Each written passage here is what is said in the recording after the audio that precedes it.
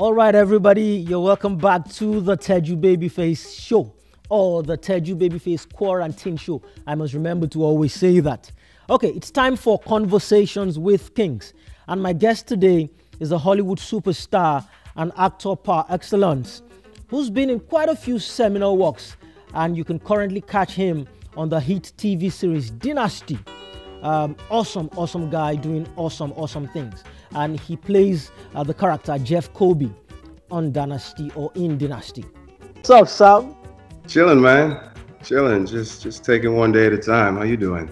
Awesome. You're you're a very difficult man to pin down. I mean, I was I was looking for you, and apparently you you took a bike tour. You went on a bike ride or something, a motorcycle ride. Yeah, yeah. That's that's kind of that's kind of my sanity. I try and get out every day and just just go for a cruise. You know. Really? Because uh, I used to, I used to have a motorcycle. In fact, I had a couple. Uh, I started with a with a Kawasaki Ninja 250. Yes. I, I went off to, I went up to a, a, a Suzuki Jigsaw 750, uh-huh. and I had a Honda Blade uh, 1000. Wow. I, I got married and I got scared and I chickened out. Listen, maybe I may have to do that when I get married one day, but for now, I'm, I'm gonna enjoy it. You know. Oh, so what do you ride?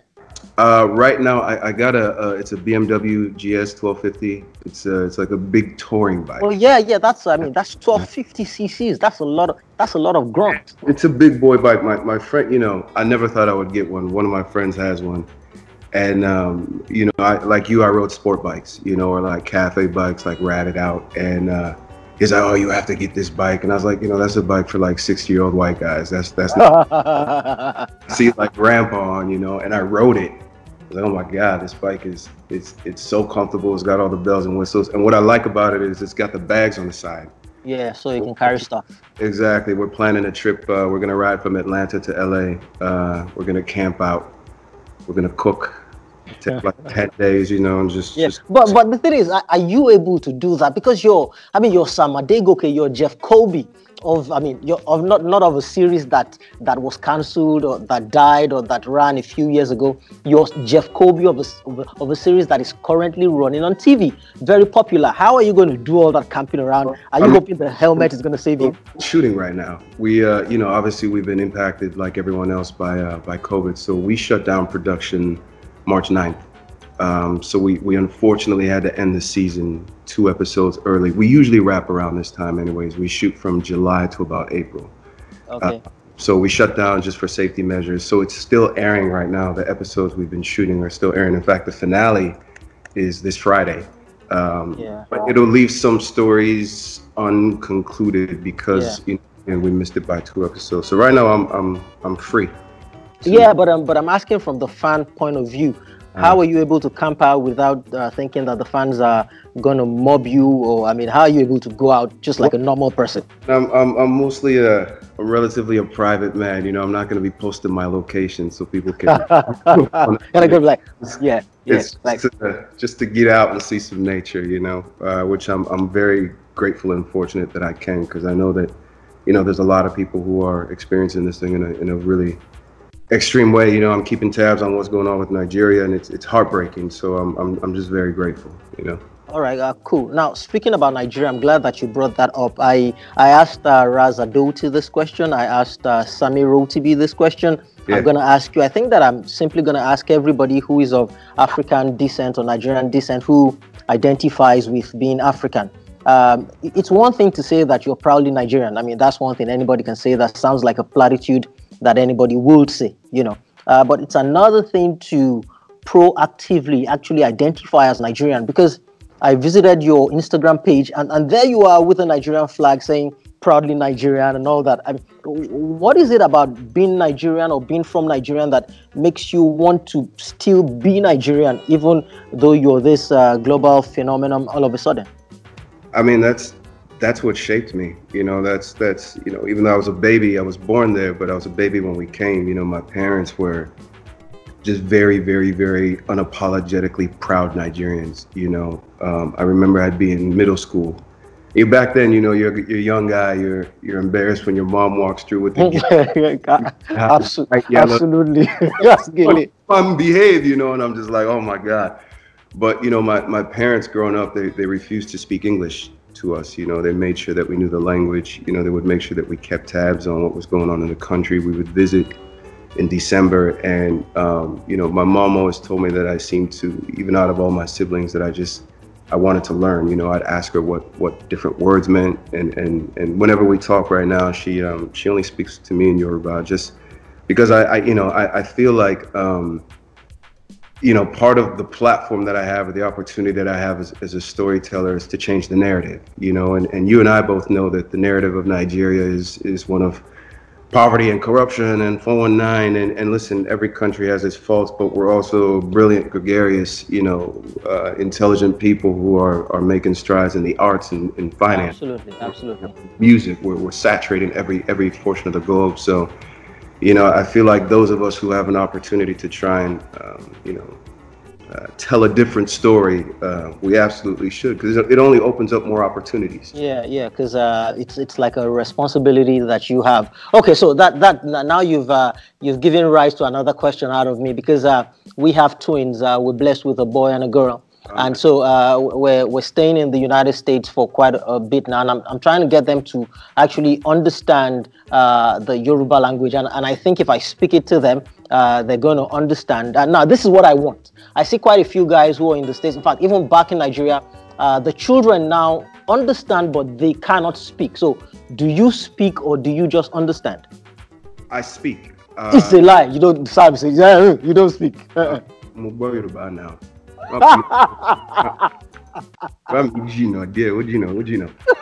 um, I, you know, um, listen, I, I don't want to lie, you know, because people put you to the test. I would say I'm like a good 90% fluent. There's still things I have to ask my parents, you know, about what does this mean or, you know, tonalities, but you just gotta, you gotta keep practicing. You know what I mean? It's something that I, I want my children to learn, you know, I want my children to, you know, have that experience. You know, I think it's just, um, I just think it's important because, you know, I believe as the world is blending and cultures are merging, you know, um, that's a beautiful thing, but we also don't want to, you know, lose, you know, what makes. You know what, my, my wife has to absolutely. You know what I'll do? I'll just I'll just take this part out. Uh, I'll just edit it and I'll put it on a loop and just put it and play it on the television all the time because my wife doesn't just understand what I'm saying. So, babe, this is a guy who grew up in America who speaks American but still speaks Yoruba. You you need to understand. You don't understand what this moment means to me. You she actually speak it. your children to learn Yoruba or? No, no, she, she wants them to learn it, but she thinks that uh, if we don't speak English to them as well, that they will not learn Yoruba. And I tell her that no, they're going to pick it up. They're in America. They're in America. They'll learn all the English they need to learn in school. Yeah, yeah, yeah, yeah, for sure. Thank you. Thank you. Look, if I if I if I if I didn't like you very well before, if I just sort of liked you as a fan now, I really really like you. All right, now so uh, speaking of your parents, uh, and uh, let me get if the story is correct. Uh, you came to Nigeria, I mean, to the United States from Nigeria as a, as a child, uh, born to Christian missionaries. Your parents were actually in the Christian church and they did Christian work. Is that correct? Yes, deeper life, very deep. deep, deep. Yeah. It's good that you have confirmed that. What I want to know is how you were able to convince deeper life Nigerian parents who are proudly Nigerian, proudly Christian, proudly deeper life, that you wanted to go into the arts, into Hollywood of all places, Sodom and Gomorrah, the manner of speaking, and they allowed. How were you able to do that?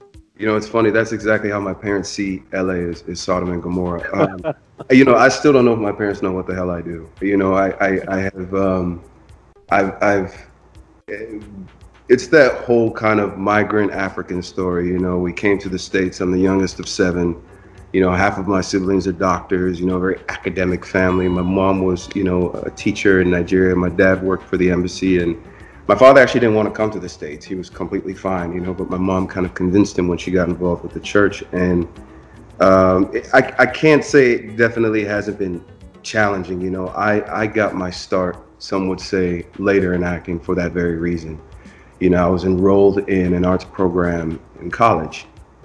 And, you know, six boys. You know, uh, I'm the youngest of them. You know, my, my, my brothers were like my idols. You know, I looked up to them and, you know, I was in the arts program and I always had good grades and like, no, no, no, no, no, you know, there's no room for this. You know, you know, uh, someone once said that as, as a son of African parents, you, you have four choices. You can be a doctor, a lawyer, an engineer, or a disappointment.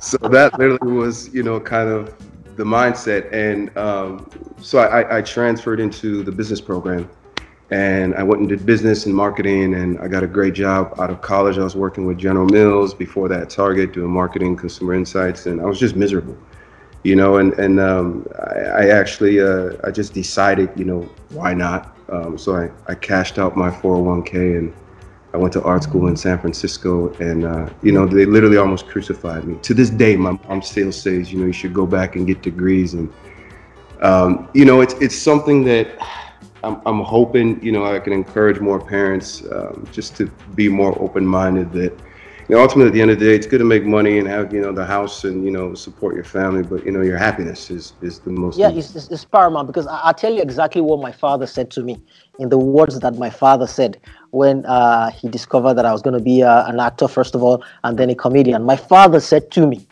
he said, I did not send you, and so let me just put the Nigerian thing.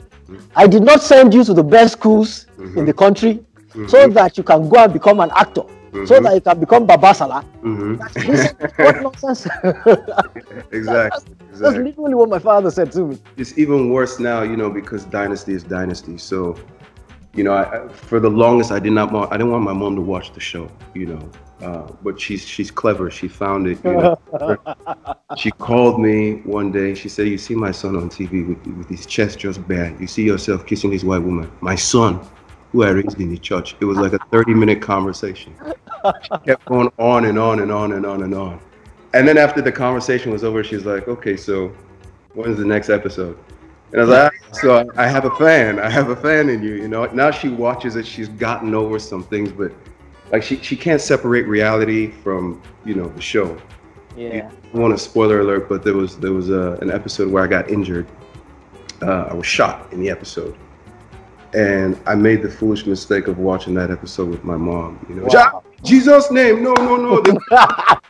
oh, lórúkọ Jésù. I And I was like, Mom, I'm, I'm, I'm right next to you. I'm on the couch. Like we shot that like six months ago. You know, I'm okay, but it's fun, you know. I mean, we've gotten to a place now where they know this is what makes me happy, and they support. And my mom knows I'm writing, my dad knows I'm writing, and they always check up on me. How's your writing going? So it's we've we've come a long way, I'll say come a long awesome, way. Awesome, awesome, uh, Look, lovely speaking with you. And I, uh, there's always a chance that I'll get carried away. Uh, so I, I, I, wrote it down that we have to take a short break right about now. So we're just going to take a very short break, and uh, we'll be back with. Uh, I mean, it's just an absolute delight to to speak with uh, Mr. Jeff Jeff Colby, multi-billionaire, you know, wow. dynasty, Sam Adegoke. We'll be right back. Don't go anywhere.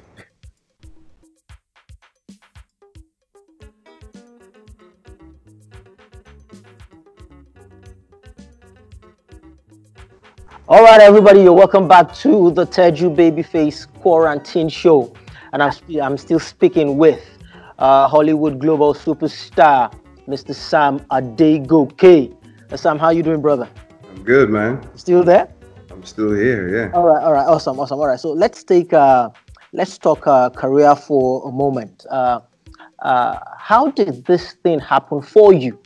I was watching. I mean, I was doing some research online before I came to speak to you and I know that you want something, uh, the, some ABC talent thing go, going on. Uh, mm. Is that is that how everything started? And just winning a talent show is, I mean, apparently not enough. How did you go from there to here? Yeah, it was. Um, you know, I credit so ABC Television has this kind of nationwide talent search that they do every year. I think the year I did it was the third year and uh, um, they had like Cornelius from Scandal who had won it, uh, Khalil Dubeau, uh, Lupita Nyong'o participated in the one in New York, and you know I entered it. You kind of go through a series of dramatic and comedic scenes. You put yourself on tape. They ask you questions, and it's like round after round. And I, you know, there was no way I, I thought I'd, I'd actually win. I was just doing it as another opportunity to exercise and you know learn the craft and uh, you know thank God I, I won that. And, um, uh, you know, they put out a blast, you know, um, on a lot of entertainment media platforms. Hey, this is our 2015 winner. And before that, I was just grinding. You know, I was studying in class, I was doing student projects, and, you know, I didn't have any representation or agents. And um, that got, you know, some eyes to look at me and reach out. And so I got some reps. Um, um, and they start sending you out on auditions. And uh, the first few auditions I went out on were I think CBS, ABC, and uh, uh, uh I think. And I booked those, and then, you know, work begets work, and, and, and more work started coming, and I started doing some some recurring roles. I did Switched at Birth. I did Murder in the First on TNT, and then I did a movie. Uh, and then pilot season came around, and uh, you know I was auditioning. Pilot season, it's you know it's crazy. You're doing multiple auditions. All the networks are trying to release their new shows, and Dynasty came up, and um, I had auditioned for the casting director before, and, and was close on a part. And she reached out. She's like, "I have the part for you. This is great. Just come in, do your thing." And I was like, "Okay, cool." You know, so it was, it was amazing to have her kind of you know championing you. Um, and uh, got the call, and they said that they wanted me for the role, and uh, here we are. Okay, awesome. So, uh, how many years uh, was I mean you've you've spoken now? What what uh, what span? How many years was that span between when you uh, did the ABC thing and when you landed on um, on uh, Dynasty? I want to just have a picture of. Uh, I want to be plotted. A little let so 2015 was ABC and uh, Dynasty I booked in 2017. Wow. Yeah. Wow. 17. Yeah that was a fast i mean that was that was very fast i mean you're like you're like an exception to the rule i mean from what i know and what i've read and what i've seen uh, this that usually isn't the story for most people uh, you know yeah i mean for me aggregately when i think of you know how long you've been in the trenches it, it, it you know what i mean it's kind of like you're going along like this you know and then you're going like this and then something can happen and just take you like this so in the aggregate from the ABC to 2017, yeah, but you know, I, have been studying in one one form or, or another since 2007. Okay. Um, you know, even though I didn't share broadcast with people that I was, so it's it's uh, yeah, it's been it's been a okay. journey. Uh, uh, now I heard you say in one interview, in one uh, interview that I was watching, you said that uh, you said something that just uh, made me remember some of the race, uh, the stories and race stereotypes that I'd heard about uh, Hollywood and all, all the rest of that. Uh, for example, I was hearing uh, a comedian say once, in fact, a couple of people have said once that uh, as a black person in Hollywood, that at some point uh, they're going to want to put you as a man in a dress. That at some point, as a black man, they're going to want to make you wear a dress, you know, as an actor, you know.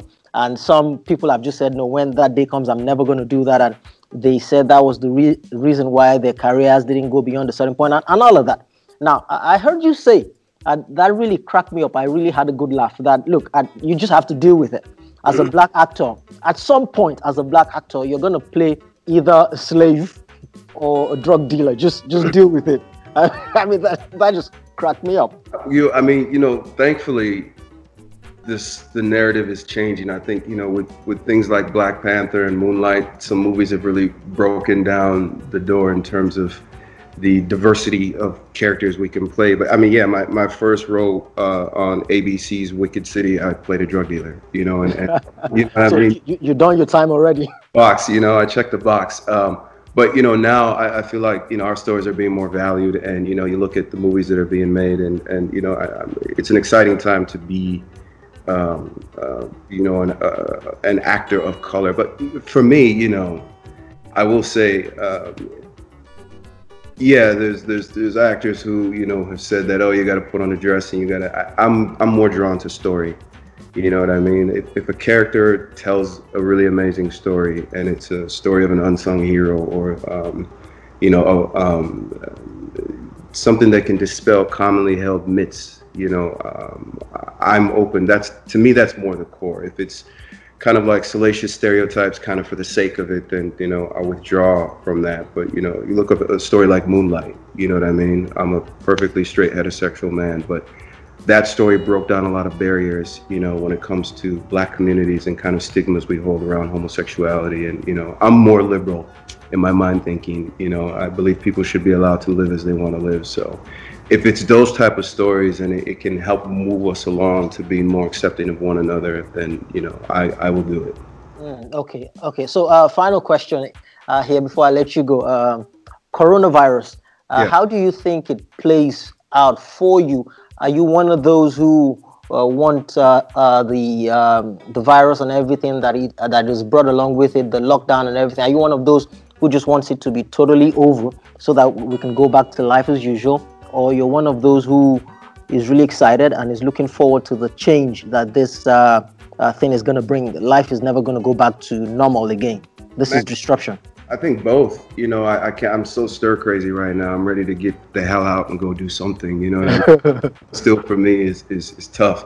Um, and yeah, it's, it's a crazy time that we're in. You know, but to to your second point about am I excited for change? I hope. You know, I hope that we don't go back to being the same. You know, look, history has shown there's been you know cataclysmic events like this before and we look at the world that we're still in you know we look at how much we've changed it maybe hasn't been that much. So my hope is that you know we come out of something like this and you know take a look at ourselves and, and if if for nothing else, this is real. It's made us realize just you know how connected we are and how you know everyone literally wants the same thing at the end of the day.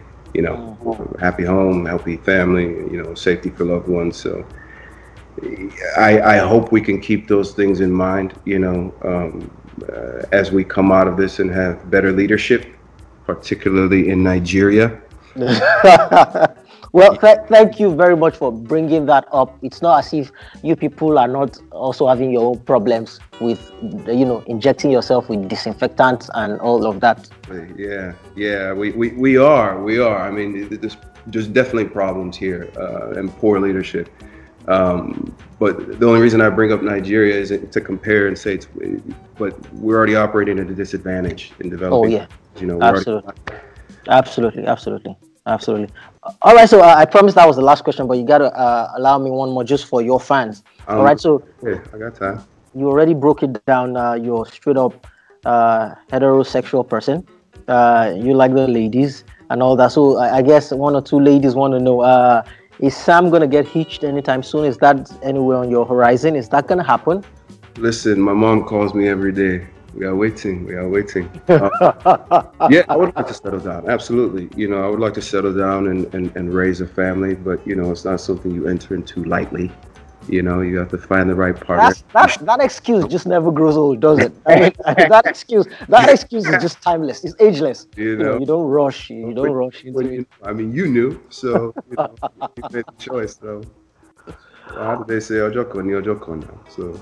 I you have no idea just how much it thrills me to hear you say Yoruba every time you do. I'm, you know, for that reason, even though I wasn't gonna, uh, so I'm gonna sign out now and just greet you in Yoruba. Just very simple, you know. So, uh, so first of all, I'm, going to do it in English. Uh, so, Sam, thank you very much for doing this. God bless you, and I look forward to chatting with you again. And hopefully, the next time we're going to do it in the proper studio. You know, maybe back home in Nigeria with all the audience, and you know, you can sign autographs and all of that for them. So, thank you very much.